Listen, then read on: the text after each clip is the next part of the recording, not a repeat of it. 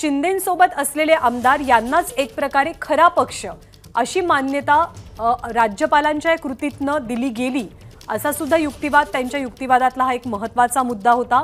आणि ही मान्यता राज्यपालांकडनं मिळाल्यामुळे पुढच्या सगळ्या गोष्टी या शिंदे गटासाठी सुकर ठरल्या असं अभिषेक मनु सिंघवींचं म्हणणं आहे. व्हीप बजावण्याचा अधिकार नेमकं का कुणाचा? आणि आत्ता अंतरिम निर्णय आहे सध्या अधिवेशन सुरू आहे अर्थसंकल्पीय. या अधिवेशनात सुद्धा व्हीपचा मुद्दा बराच गाजतोय. भरत गोगावले यांनी व्हीप जारी केलेला आहे. सध्या परिस्थिती अशी आहे निवडणूक आयोगाच्या निर्णयामुळे की विधिमंडळातली आणि त्याच्या बाहेरची शिवसेना ही सुद्धा शिंदेची शिवसेना आहे. कारण पक्षचिन्ह पक्षाचं नाव हे सगळं काही त्यांना मिळालेलं आहे. त्यामुळे व्हीप बजावण्याचा जो अधिकार आहे तो पाळण्याविषयीचे जे नियम आहेत ते सुप्रीम कोर्टानं स्पष्ट करावेत. कारण ठाकरे गटानं आतापर्यंत त्यांचा एखादा वेगळा पक्ष किंवा गट म्हणून मान्यता द्या अशा आशयाचं पत्र कुठेही सादर केलेलं नाहीये. कदाचित ते न्यायिक प्रक्रियेची अधिक वाट पाहत असावेत. प्रशांतकडे आपण पुन्हा एकदा जाऊयात पुढचा युक्तिवाद.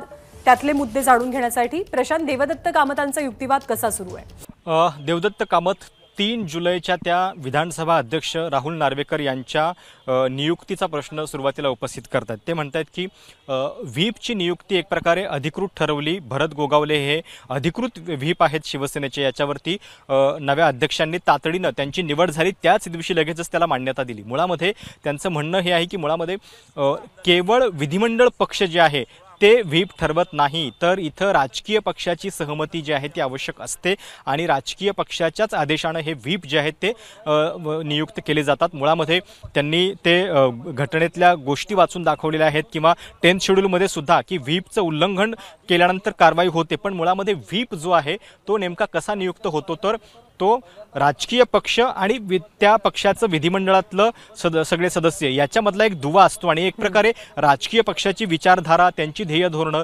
याची अंमलबजावणी त्याच्यानुसार मतदान होतंय की नाही हे बघणं हे व्हीपचं काम असतं. त्यामुळे तो केवळ विधिमंडळ पक्ष कसा काय नियुक्त करू शकेल हा प्रश्न देवदत्त कामत यांचा आहे आणि त्या अनुषंगानं तीन जुलैचा तो जो निर्णय आहे राहुल नार्वेकर यांचा जो निर्णय आहे त्याला सुरुवातीला त्यांनी या ठिकाणी चॅलेंज केलेला आहे.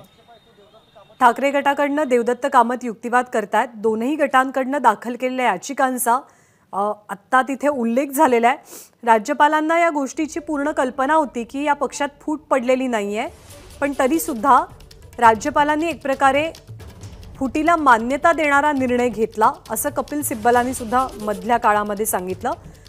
प्रतोद नेमणुकीबाबतच्या पत्रांचा दाखला देवदत्त कामत यांच्याकडनं दिला गेला ज्याची अधिक माहिती अर्थातच प्रशांतनं आपल्याला दिली की प्रतोदाची नियुक्ती विपची नियुक्ती नेमकं कोण करू शकतं? याविषयी देवदत्त कामत सध्या युक्तिवाद करतायत. कारण या सगळ्या घटनाक्रमामध्ये व्हीप नेमका कुणाचा पाळायचा हा मुद्दा अत्यंत कळीचा मुद्दा बनलेला आहे. सध्या भरत गोगावले यांचा व्हीप एक प्रकारे बंधनकारक आहे संपूर्ण शिवसेनेवरती. ठाकरे गटानं वेगळा गट म्हणून आम्हाला मान्यता द्या अशी कुठेही मागणी केलेली नाही आहे त्यामुळे या संपूर्ण अधिवेशनादरम्यान किंवा याच्यापुढे सुद्धा जेव्हा जेव्हा अशी परिस्थिती उद्भवे तेव्हा उद्धव ठाकरेंसोबत सध्या असलेल्या आमदारांना व्हीप कुणाचा लागू होतो आणि सगळ्यात महत्त्वाचं म्हणजे या सगळ्या सत्ता संघर्षात अध्यक्ष म्हणून राहुल नार्वेकरांची निवड होत असताना एक व्हीप होता भरत गोगावलेंचा आणि दुसरा व्हीप होता तो सुनील प्रभूंचा. सुनील प्रभूंनी उद्धव ठाकरेंच्या आमदारांसाठी ते त्यांच्या गटातले आमदार होते. आणि त्यांचं म्हणणं होतं की सुनील प्रभूंचाच विप हा सगळ्यांनी मान्य करायला हवा. परंतु त्या विपचं उल्लंघन झालं आणि राहुल नार्वेकर यांच्या निवडीच्या वेळेला शिंदेंसोबत असलेल्या आमदारांनी भाजपच्या उमेदवाराला म्हणजे राहुल नार्वेकरांना आपलं मत दिलं. हा एक प्रकारचा विपचा उल्लंघन झाल्याचा प्रकार घडल्याचं ठाकरे गटाकडनं वेळोवेळी कोर्टात सांगितलं जात आहे त्यामुळे अधिकृत विप कोण हे सुद्धा इथे ठरणं महत्वाचं मानलं जात आहे तीन जुलैच्या घटनाक्रमाचा कामतांकडनं उल्लेख केला जातोय. तीन जुलैलाच निवडणूक झालेली होती. राहुल नार्वेकरांच्या अध्यक्षपदाची. त्यामुळे तो दिवस सुद्धा तितकाच महत्त्वाचा ठरतो. प्रशांत विपचा मुद्दा म्हणजे अध्यक्ष आत्ताचे जे आहेत कदाचित त्यांच्याकडे सर्वाधिकार या प्रकरणाचे जाण्याची शक्यता असू शकते एका पर्यायाचा विचार केला तर.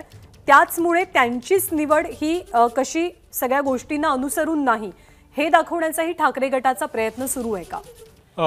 देवदत्त कामत ठाकरे गटाचे तिसरे वकील आहेत आणि साधारणपणे दहा मिनिटं त्यांनी कोर्टाकडे मागितलेले आहेत आणि देवदत्त कामत यांनी स्वतःच कोर्टाला सांगितलेलं आहे की मी माझा युक्तिवाद जो आहे तो मुख्यतः तीन जुलैचा त्यांचा जो निर्णय आहे किंवा तीन जुलैच्या निर्णयाला त्यांनी जे आव्हान दिलं आहे त्याच्यापुरतीच ते सीमित ठेवतात त्याच्यामुळं अ, स्ट्रॅटेजीनुसार जर आपण बघितलं तर राज्यपालांच्या भूमिकेबद्दल अभिषेक मनु सिंघवी यांनी जास्त जोर दिलेला होता. आता अभिष देवदत्त कामत जे आहेत ते तीन जुलैचा राहुल नार्वेकर जे विधानसभेचे अध्यक्ष आहेत त्यांच्या निर्णयांना आव्हान ज्या याचिकांमधून दिलेलं आहे त्याच्यापुरताच युक्तिवाद या ठिकाणी करतायत. त्यामुळं ज्ञानदा एक दिसतंय की आज ठाकरे गटाचा युक्तिवाद जो आहे तो देखील लवकरात लवकर पूर्ण होईल आणि त्याच्यानंतर शिंदे गटाचा युक्तिवाद जो आहे तो देखील आजच सुरू होण्याची शक्यता आहे. आज ज्येष्ठ वकील. हरीश साळवे हां. आता कोर्टामध्ये नाही आहेत किंवा ते तो तोच मुद्दा हरीश सांगतोस तो साळवे पूर्ण करशील. ऑनलाईन पद्धतीनं युक्तिवाद तोच मुद्दा आहे प्रशांत. हरीश साळवे आज उपस्थित नाही त्यामुळे शिंदे गटाकडनं नीरज किशन कौल कामतांनंतर उत्तर द्यायला सुरुवात करतील. साधारणतः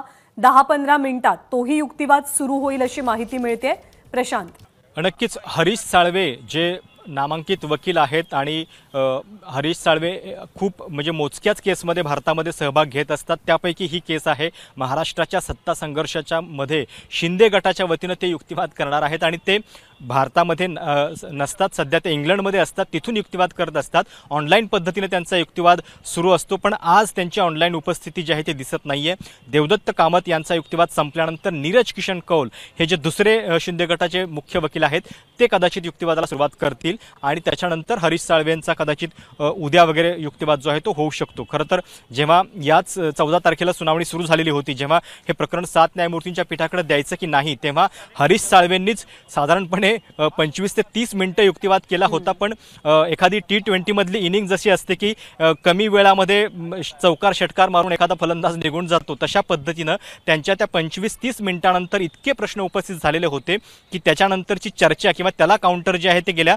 दोन दिवसापासून केलं जात आहे ठाकरे गटाकडनं. त्यामुळं आज देवदत्त कामत यांचा युक्तिवाद संपेल त्याच्यानंतर अगदीच एक ज्युनियर वकील्सना कोणाला संधी दिली तर दिली जाईल नाहीतर मग ठाकरे गटाचा युक्तिवाद जो आहे तो संपण्याची शक्यता जी आहे ती आता दिसते आणि त्याच्यातून हाही अर्थ निघतोय की आठ महिन्यांपासून जी सुनावणी लांबलेली होती ती पूर्णत्वानं वेगानं निकाली काढण्याकडं सुप्रीम कोर्टाचा भर दिसतोय.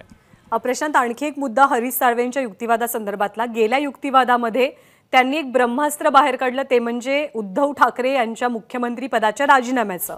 तर आत्ता जो पुन्हा एकदा शिवसेनेकडनं युक्तिवाद सुरू होणार आहे त्यामध्ये सुद्धा असा एखादा हुकुमाचा एक्का असण्याची शक्यता कितपत आहे?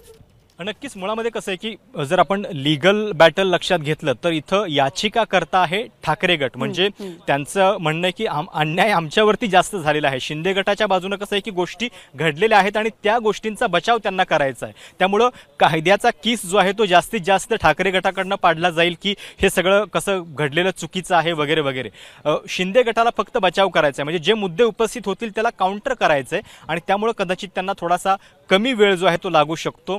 याच्या आधीसुद्धा राजीनाम्याचा मुद्दा जो आहे तो उपस्थित झालेला आहे. तो पुन्हा उपस्थित होईल. बघावं लागेल की या राजीनाम्याच्या वरती ठाकरे गटाकडून ज्या पद्धतीनं राज्यपालांच्याच पत्राचा मुद्दा उपस्थित केला गेलेला होता की आणि त्यांचं म्हणणं होतं की राजीनाम्याकडे जायची गरजच नाही आहे मुळात त्याच्या आधी राज्यपालांचं हे पत्र होतं आणि हे पत्र जे आहे तेच कसं घटनाबाह्य होतं ज्याच्यामधून इतक्या सगळ्या गोष्टी घडत गेलेल्या आहेत हे ठाकरे गटानं सांगितलेलं होतं. त्याच्यामुळं आता या सगळ्यामध्ये एक दिसतंय की टेन्थ शेड्यूलला म्हणजे टेन्थ शेड्यूलनुसार हे सांगितलं जातं की पक्षाचा जो आदेश आहे तो जास्त महत्त्वाचा आहे. आणि दोन तृतीयांश जरी बहुमत असेल तरी तुम्हाला विलिनीकरण हाच पर्याय आहे त्याच्यामध्ये. हरीश साळवे कदाचित या टेन्थ शेड्यूलमधला एक वेगळा अँगल शोधून काढतील. ते असं म्हणतील की जरी टेन्थ शेड्यूलनं आपल्याला हे सांगितलेलं असलं तरी त्याच्यामध्ये लोकशाहीला सुद्धा जागा असली पाहिजे. दोन तृतीयांश जर लोक काही म्हणतायत तर ते पक्षामध्येच जर त्यांना काही म्हणणं मांडायचं असेल तर त्याला आपण जागा देणार आहोत की नाहीत असा युक्तिवाद कदाचित त्यांच्याकडनं केला जाईल. आणि त्यामुळं या सगळ्या म- मुद्द्यांना नेमकं कोर्ट शेवटी कसं बघतं हे बघावं लागेल. देवदत्त कामत यांचा युक्तिवाद अर्थातच विधानसभा अध्यक्षांच्या निर्णयापुरता सीमित दिसतोय. तीन जुलैला जो निर्णय झालेला होता व्हीपची नियुक्ती ज्या पद्धतीने त्यांनी भरत गोगावलेंची वैध ठरवली त्याच्याबद्दलचं आर्ग्युमेंट कामत करताना दिसत आहेत कामतांनी आणखी एक उल्लेख केलाय की एकनाथ शिंदेंनी उपाध्यक्षांना एक पत्र लिहिलं होतं. त्या पत्राचा कामतांकडनं दाखला दिला गेला. या पत्रामध्ये एकनाथ शिंदेकडनं केवळ विधिमंडळ पक्षाचा उल्लेख केला गेला. हे पत्र कोणतं आहे? तर भरत गोगावलेंची नियुक्ती त्यांनी प्रतोद म्हणून केली. हे पत्र अर्थातच गुवाहाटीतनं पाठवलं गेलेलं होतं. या पत्रात केवळ विधिमंडळ पक्षाचा उल्लेख आहे राजकीय पक्षाचा नाही आहे आणि याच पत्राद्वारे प्रतोद बदलण्याची सूचना उपाध्यक्षांना म्हणजे नरहरी झिरवाळ यांच्याकडे त्यावेळेला करण्यात आली. आणि कोणतेही व्हिप किंवा कोणतेही प्रतोद यांची नियुक्ती कशी होते तर ती राजकीय पक्षाच्या वतीनं केली जाते. ती विधिमंडळ पक्षाकडनं होत नाही असा युक्तिवाद देवदत्त कामत यांचा आहे.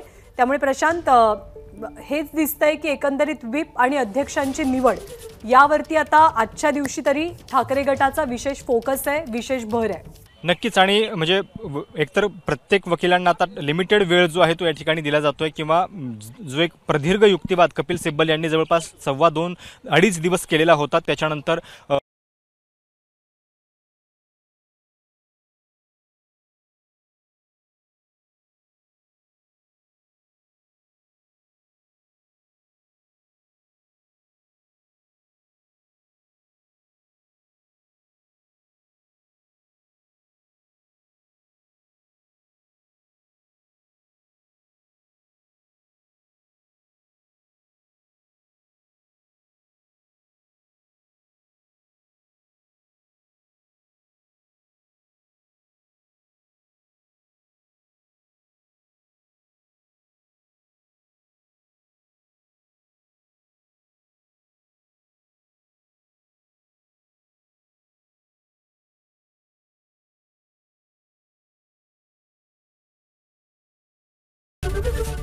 एबीपी माझा.